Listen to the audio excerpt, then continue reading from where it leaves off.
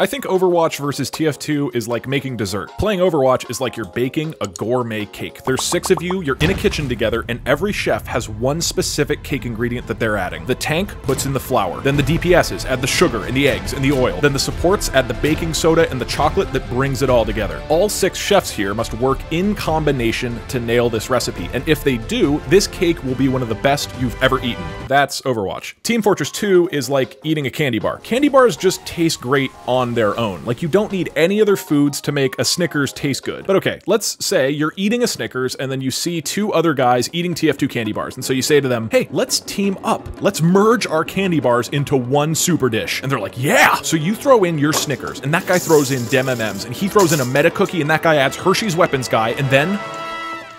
Well, then it just tastes like a big chocolatey mess. But here's the thing, a Snickers by itself tastes like a big chocolatey mess. So does Hershey syrup. Combining candy bars together doesn't make them taste any better, it's still just a pile of delicious chocolate either way. That's TF2. So why are these games so different? Well, Overwatch characters are fundamentally designed to stay next to each other.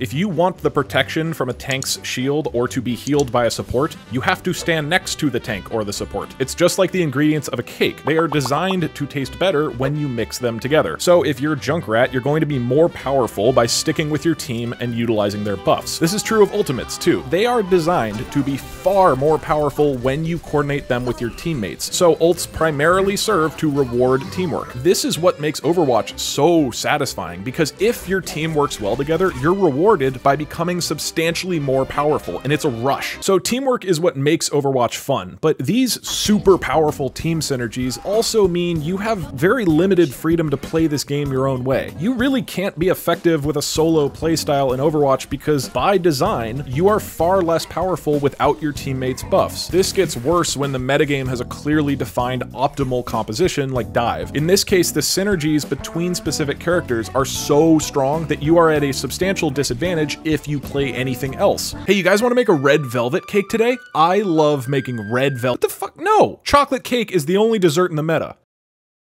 I'm reporting you. The second big problem is that because teamwork is so crucial to winning, if you have just one or two bad teammates, that can ruin the entire game. Like if you were making a cake and your tank carefully adds the flour and then you perfectly add in sugar and then this dude's just eating Hans Oreos. Now the entire cake you were making is gonna taste awful because that guy is refusing to actually do his part of the recipe. And since you get random teammates game to game, it's totally hit or miss of actually having a team that coordinates well and has fun. It's like you're at a restaurant where half the meals cause horrible vomiting, but the other half it's like the best steak you've ever had. But people keep eating Overwatch because god damn dude, the rush when your team pulls it all off is just incomparable. Like every chef on the team just nailed their job and we made a cake so good it made made Jeff Kaplan cry. In TF2, most characters aren't designed to benefit their teammates in any way. Soldier and Demo and Scout, etc. don't have any core moves that benefit their teammates, and so you can run off on your own without being any fundamentally weaker. And this means your effectiveness as a player is only dictated by you, not by your teammates' behaviors. TF2 characters are candy bars. They taste great on their own, they don't need anyone else's flavors. Engineer and Medic are the two obvious exceptions here. They are very much designed to benefit teammates and help you win, but winning the game just isn't really a priority in TF2. People don't really care about the objective itself, it just serves as the dedicated spot where everybody's gonna blow each other up. The game almost discourages you from trying too hard to win by frequently scrambling the teams. Or even if you and two other guys are like, hey, you wanna team up and defend the objective?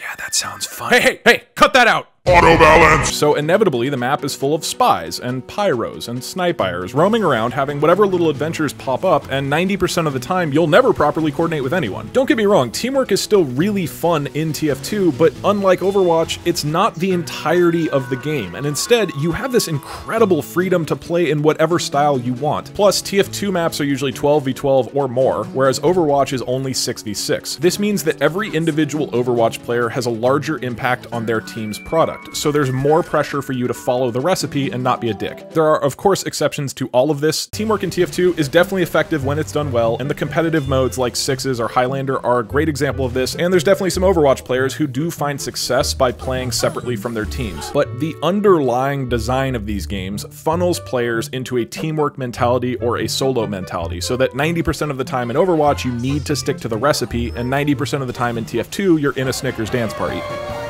Outside of teamwork, I think the games mostly differ in how you can customize your experience. For example, customizing each character. In TF2, they treat each character like a fruit. And let's say you taste each one and then you go, man, I love apples. That's my favorite. I want to eat apples all day long. And TF2 goes, all right, well, I'm about to blow your fucking mind because we have different ways to eat apples. We got apple pie and apple sauce and baked apples and apple fritters and tons more. This is how TF2 classes work. There's only nine classes, but each one has three changeable weapon slots with hundreds of possible combinations. So if I love the taste of Demo Banana, I can mix it up and swap in Scottish Resistance and now cover choke points. It's similar, but it's customized. Or now I swap in Sword and Boots and I'm playing Demo Banana Night. And you're like, this is awesome. They took a food I loved, Demo Banana, and they're giving me different ways to cook that core flavor. Whereas Overwatch is like, you guys, we have 29 different fruits and veggies to choose from. And I'm like, oh my god, there are some really genuinely unique options here, like a McCree cumber or a Reaper Simmon, or a Wrecking Bell Pepper.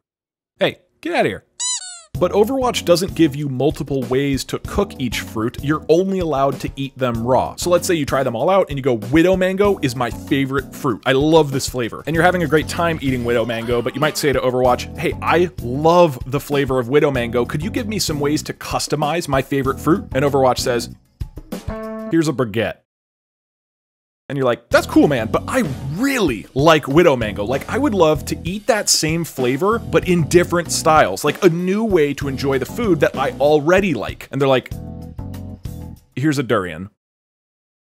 Overwatch doesn't let you customize your favorite characters, instead they just introduce new characters altogether. This is actually a really great thing if you're a player who wants a large variety in fundamental playstyles, but it also means you might get tired of that hero that you really, really love a lot faster than you might otherwise. Even more broadly, TF2 lets the community customize the maps that you can play. When Valve released TF2, it's like they opened a restaurant and they said, hey, we made a bunch of food and here's our menu of dishes to choose from, but the kitchen's unlocked. Feel free to make whatever else you want. So everybody ran into the kitchen and went nuts. And over time, the community has cooked all sorts of insane new dishes for the TF2 menu. Like one dude went, you guys, I packed 10 scoops of ice cream into one bowl. I call it a 10x crit server. And another guy's like, I took soldier flour and pieces of toast and created jump maps. And you're like, what the fuck? That's actually delicious. And another dude's like, you guys, I took that sandwich and I made it really, really tall. And that's like a real thing that people play. It's called Higher Tower. It's just Hightower, but the tower is really tall now. So over the years, people took TF2's map editor and custom servers and created crazy new genres like jump maps, Saxton Hale mod, randomizer, tons more. The community expanded TF2's restaurant menu to have almost infinite dishes to choose from, and this has drastically increased the game's longevity and enjoyment. But when Overwatch opened their restaurant, they said, here's our menu of food, you can eat these specific things. And over time, they've added new items to the menu like 3v3 or brawls. And these dishes all taste great, but the point is that over Overwatch, and only Overwatch controls the entire menu. And as a result, it's a pretty limited menu. Like if you go in there and you try to order a 12v12 match, they will say, sorry, but 12v12 isn't on our menu. Why don't you try our 6v6? And I'm like, I have, man, and it's great, but I thought it'd be fun to make my own type of meal. And they're like, here's a durian. This isn't so much a flaw of Overwatch, it's just a big missed opportunity. They don't give the community tools to make unique maps and modes, and this unnecessarily limits the game's menu of options. And it's especially frustrating because Blizzard's older games did do this. Warcraft 3 is legendary because of custom maps. Blizzard made these incredible RTS ingredients and then said, hey, the kitchen door is unlocked, go make whatever you want. And so some frog started a 5v5 eating contest and literally invented Dota. And another dude invented tower defense events and hero arenas and a million other iconic games. Warcraft 3 made the ingredients and the community made the menu. And it sucks when you see Overwatch's ingredients, which are so creative and cool, and you just like wonder what kind of amazing meals we might be eating if Overwatch just let us play with our food. At this point, I play more TF2, but it just depends on how I'm feeling, right? Like if it's the end of a long day and I want to dick around, play my favorite character, and not worry about teammates, then TF2 is the perfect experience for me. But Overwatch can be fucking awesome. The characters and ultimates are super creative, and if you have a great team, the feeling of working together and accomplishing a plan is one of the best feelings in gaming. Eating a gourmet cake is always going to taste better than eating a Snickers. It just really sucks if your cake has Hanzo in it.